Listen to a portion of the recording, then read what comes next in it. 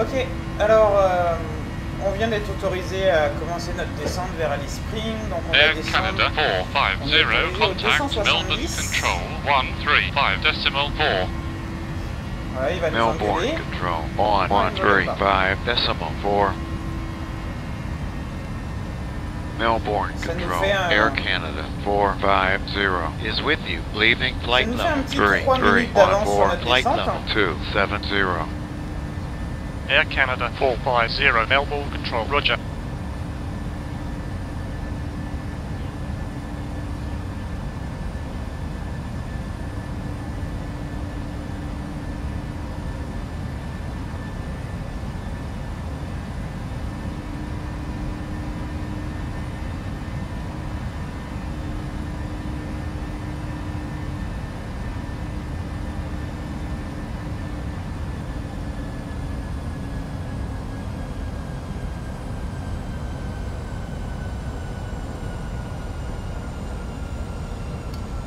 Prévoit de faire une approche directe pour la piste 12, mais ça changera peut-être. Mais je suppose qu'on demandera la 12 là. L'approche qu'on prévoit de faire, alors c'est la VOR 12. Il y a deux possibilités d'approche. Il y a une approche directe, donc l'approche directe ben, c'est l'arc DME. Dans ce cas-là, l'IAF est en fait situé à 15 nautiques sur la radiale, euh, sur la radiale 301. Puis l'autre possibilité d'approche, ben, c'est euh, d'arriver à la verticale du VOR, qui dans ce cas-là être notre IAF, hein, puis euh, de faire un virage conventionnel qui nous amène dans le fond euh, sur l'axe d'approche. Nous, c'est assez simple dans notre cas, si on prend la 12, puisqu'on arrive sur une route 118, 120, donc le plus simple évidemment c'est de choisir l'approche directe. On peut considérer qu'on rentre sur l'arc DME, puis dès qu'on passe cette IAF à 15 nautiques du VOR, ben on embraye tout de suite sur un 121 et on fait l'approche. Euh, donc c'est cette piste-là que je compte demander dans tous les cas. Donc cette approche, alors c'est l'approche euh, Spring, VOR 12. Euh, la MSA dans les 10 nautiques est de 5200 pieds. On arrive vertical de l'ILF, on sera à 5500 pieds. Et on va intercepter euh, le QDM 121 vers le VOR. On débutera la descente à 10.5 nautiques DME. Et puis on descendra tranquillement vers notre MDA qui sera de euh, 2270 c'est-à-dire une hauteur de 484 pieds. À la suite de quoi on maintient, euh, euh, l'axe de. On maintiendra cette MDA jusqu'à ce qu'on ait visuel de la piste et, on devrait l'avoir euh, bien avant. Il n'y a pas de finale approche fixe sur cette approche-là, puisque le VER est situé à l'entrée de piste. Ce qui fait que dans ce cas-là, le point de remise de gaz en cas d'absence de visuel, c'est la verticale du VOR. En cas de remontée, on remontera sur un 116 à jusqu'à 5500 pieds en attente des instructions du contrôle. Mais présentement, comme on n'aura pas d'instruction de contrôle, ben, tout simplement on fera un virage par la droite, ce qui permettra euh, de revenir à la verticale du VOR, puis d'intégrer le circuit d'attente euh, sur la radiale c'est la 141. Donc un 321 en rapprochement et ce sera une entrée directe. Voilà pour cette approche-là. Ça devrait être relativement facile.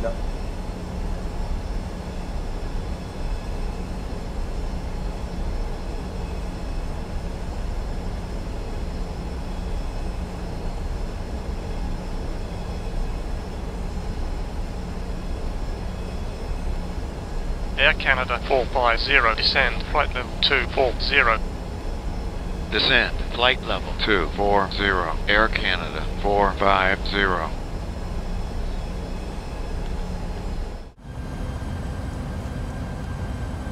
Air Canada 450, do you have the latest Yankee Bravo Alpha Sierra weather and which approach are you requesting?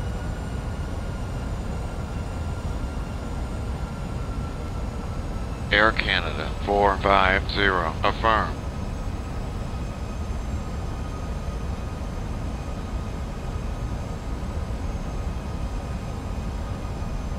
Ok.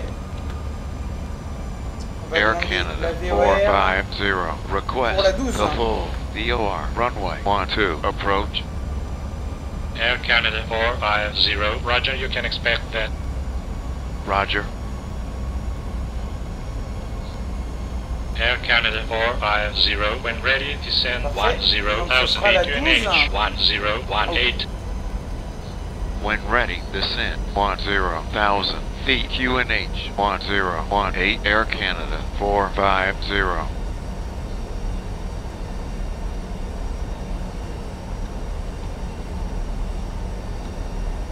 Au pire, si jamais il s'avérait qu'il y a trop de vent, dans ce cas-là, on fera un, un circling. Il faudra revoir nos minima d'approche. Est-ce que le circling est autorisé Circle to land, dans ce cas-là, la MDA est à 581 au-dessus du sol pour un maximum de 135 nœuds. Donc nous, ce serait plutôt à 1000 pieds là. Un maximum de 100, euh, 180 nœuds. Mais euh, on se posera en 12. Air Canada 450 to an inch. 1019.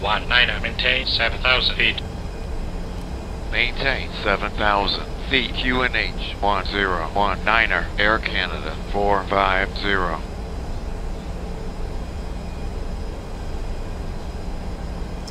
On va rentrer l'approche là-dedans.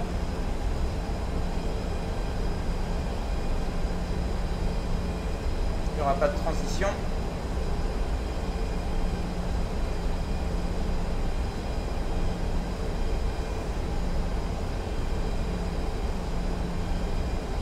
Garde un œil sur ce qui se passe. Donc on fait ça, on prendra 30 degrés de polaire, ça paraît bien, ça nous fait une référence de 142.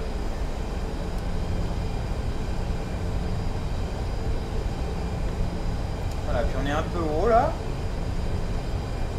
par rapport à cette approche qu'on prévoit, donc il, il est temps de vraiment de descendre là.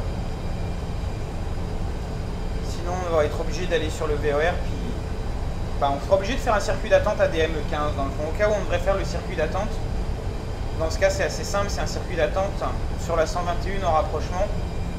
Dans ce cas-là, c'est une entrée directe, donc il n'y aura pas de souci majeur. Mais idéalement, euh, on aimerait ça arriver à la bonne altitude. Ce serait beaucoup plus simple.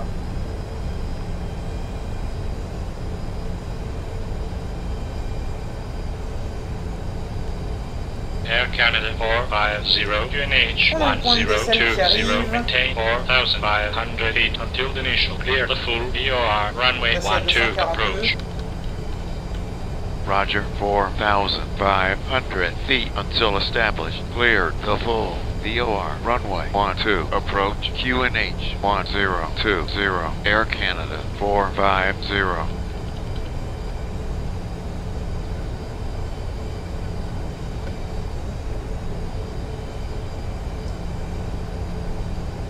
Ok, alors euh, 4500 c'est un peu bas pour nous. hein. La carte d'approche précise qu'on doit arriver à 5500, donc on va maintenir 5500.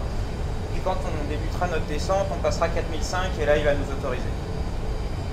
Normalement, on ne devrait pas franchir l'IAF sans être autorisé, mais euh, je préfère respecter mes altitudes telles que publiées et considérer que j'ai. Et lui il m'autorisera le moment venu. hein. Lui il n'a pas les informations de la carte, moi je les ai.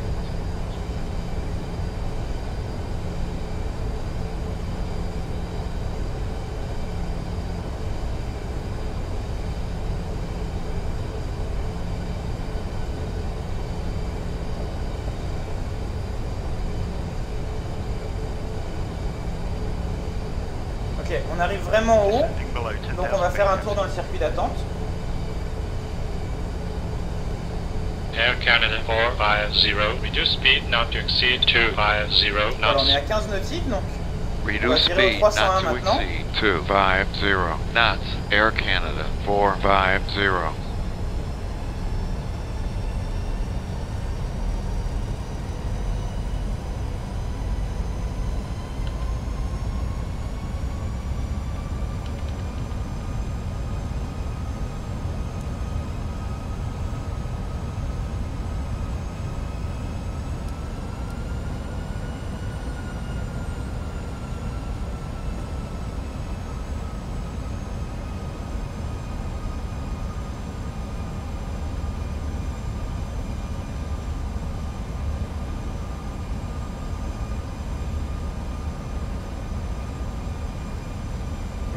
Il n'y a pas de vent.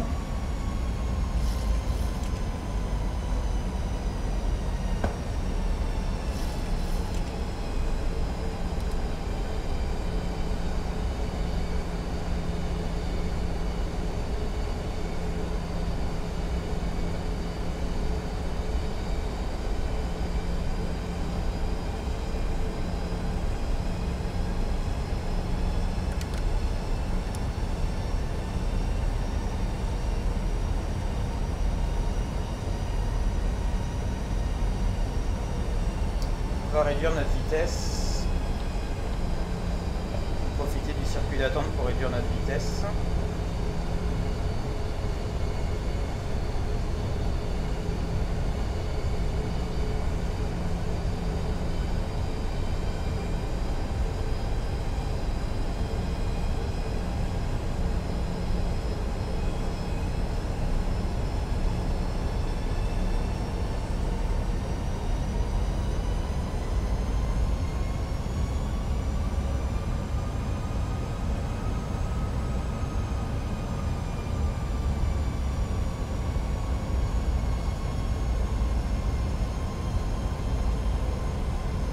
On a déjà le VOR derrière nous.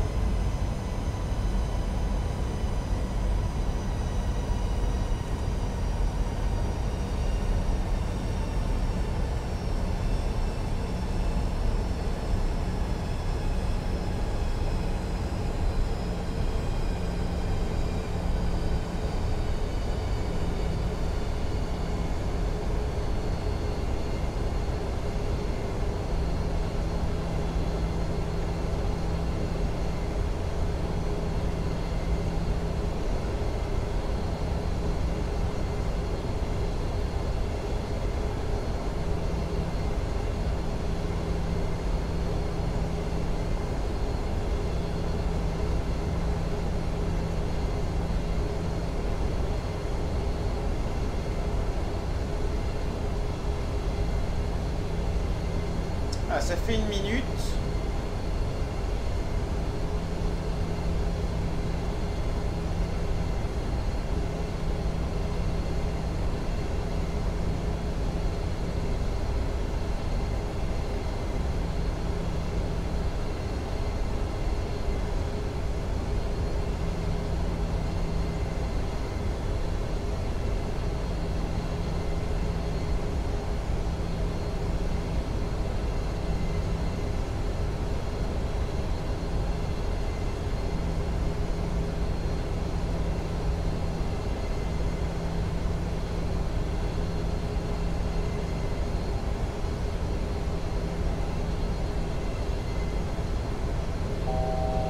Donc Au début, on voulait pas descendre trop rapidement. Au final, on est arrivé trop haut parce qu'avec euh, toute la perte de concentration qu'il y a eu durant la descente, ben, on n'est finalement pas descendu assez rapidement. On n'a pas tenu notre descente de 1500 pieds minutes.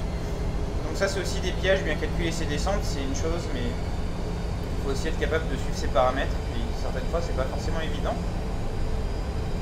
C'est même limite plus facile dans la réalité.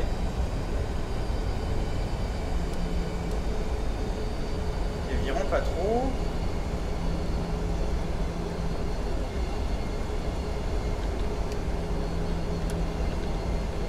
On va réduire à 180 nœuds maintenant. Ça va nous permettre de sortir un peu de volet.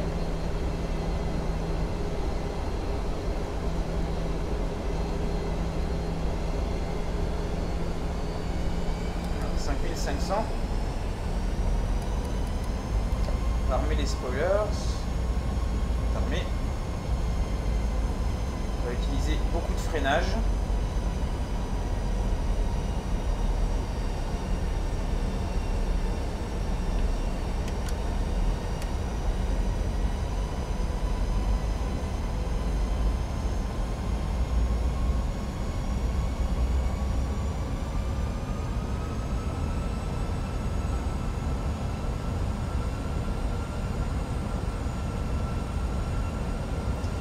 Donc ce qu'on peut voir sur le plan de descente verticale, hein, c'est que la limite est à 3600 euh, jusqu'à 4.5 euh, DME du VOR. Puis ensuite la limite est jusqu'à euh, 2740 pieds jusqu'à 2.0 du VOR, puis ensuite la limite ce sera la MDA. Donc il faudra respecter ces paliers-là, on va essayer d'aller les chercher, mais il ne faudra pas descendre en dessous.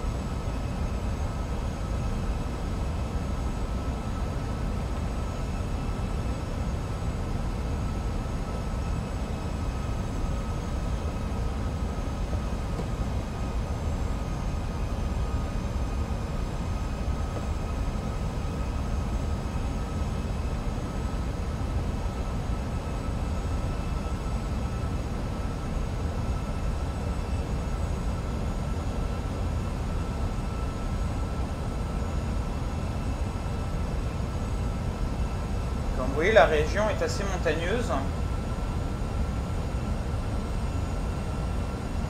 La MSA dans les dits nautiques est très élevée. Donc c'est quand même préférable de respecter euh, ce qui est indiqué sur la carte plutôt que de respecter ce que nous dit euh, Radar Contact. hein. C'est plus sûr.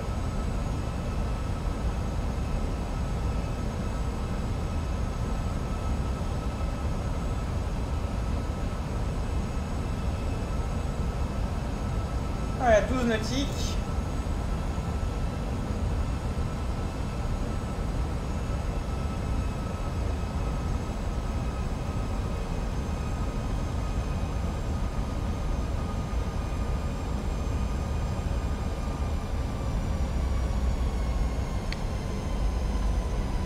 Allez, on va venir chercher nos 152 nœuds en approche. Il n'y a pas de vent, donc on va venir chercher 142 nœuds.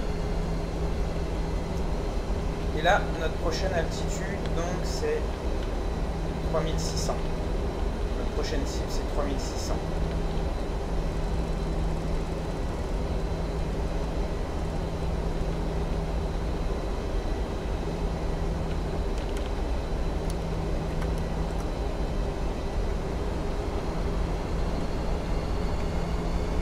On va sortir le train, on va vérifier que tout est configuré correctement.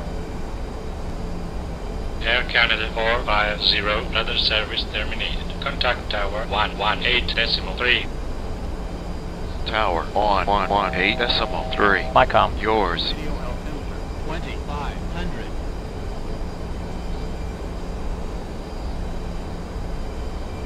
Ok, donc euh, les spray brakes sont armés, euh, le RTO est bon, tout est vert, les trois vertes, on est prêt à l'atterrissage.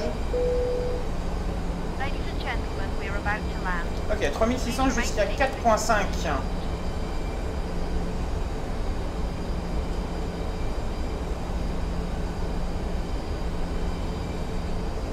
On a déjà la piste en vue. Donc on va venir la chercher.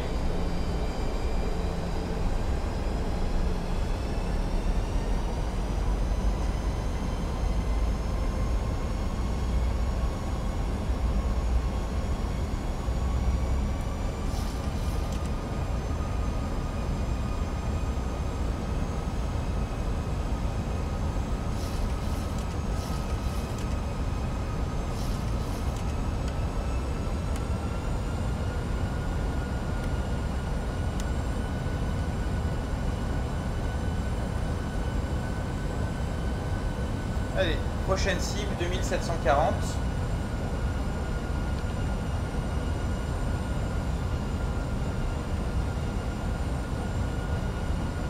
Maintenant qu'on a la piste en vue, de toute façon, on va finir à vue. Donc on va afficher l'altitude de la remise des gaz, 5500.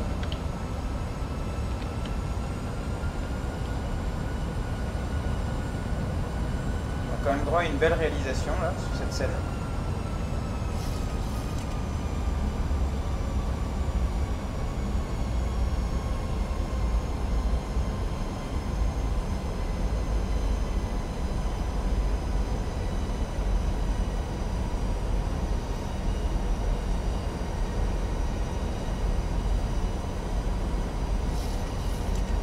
on a quand même un petit vent de face qui est arrivé.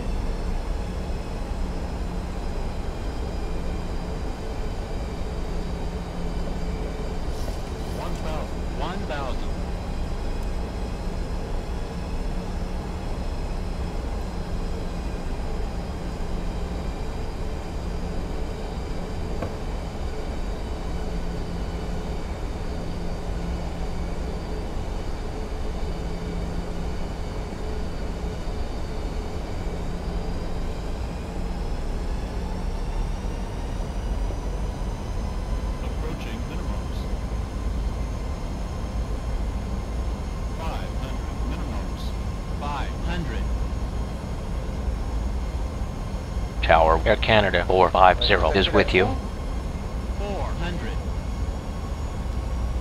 Air Canada 450 tower runway 12 wind 095 at 10 Air Canada 450 runway 12 clear to land Roger, Air Canada 450, clear to land. Air Canada 450.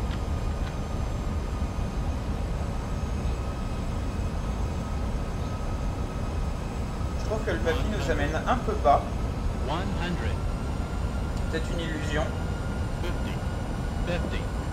40.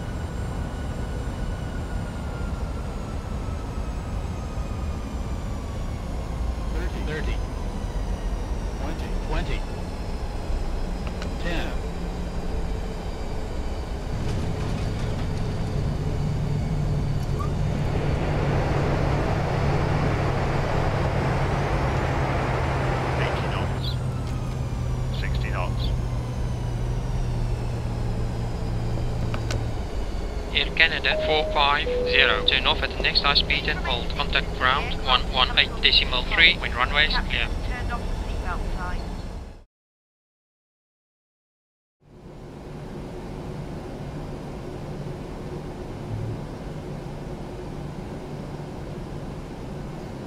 Voilà, donc ça conclut notre vol. Ben, J'espère que vous avez apprécié, puis que vous avez appris des choses sur la lecture des cartes et euh, la façon de, de préparer une approche et de préparer un départ avec cet appareil-là. Et je vous dis à la prochaine fois.